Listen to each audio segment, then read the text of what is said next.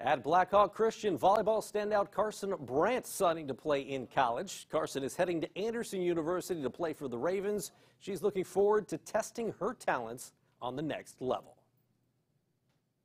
I mean, it still doesn't really feel real, honestly. Like, it's just crazy to think that like it's actually going on at the next level. But I mean, I'm really excited. I'm really excited.